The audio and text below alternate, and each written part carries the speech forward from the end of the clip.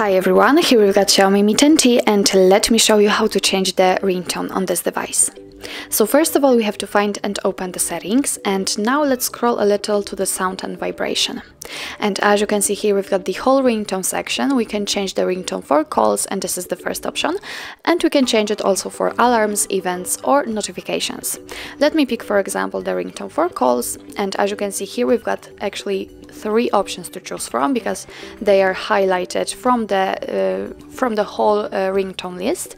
But if you do not like them just tap on all ringtones and as you can see here we've got the full list of available ringtones from which you can choose. What's more we can set uh, we can choose don't set ringtones so your device won't notify you that someone is calling you. Or we can choose local ringtones. So after tapping on it, we can choose for example the file manager or our own music. And if you will have any compatible files, uh, for example downloaded, they will appear right here and you will be able to set them as a ringtone.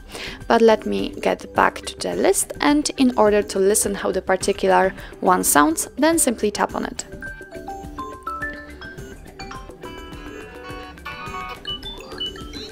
And if you are happy with your choice, simply make sure that you tap on it and it is marked and simply get back. As you can see, it is notified here, so it means that from now on your device will use the chosen ringtone. Let's get back and of course the same situation will be with uh, all other ringtones. For example, let's choose the notifications. Here we've got some highlighted ones again. Let's tap on all ringtones and here we've got the full list. Tap to listen and if you are happy with your choice, just get back. As you can see, it appears right here, so again, your device will use the chosen ringtone for the notification sounds. So that's all. This is how to change the ringtone in your Xiaomi Mi 10T.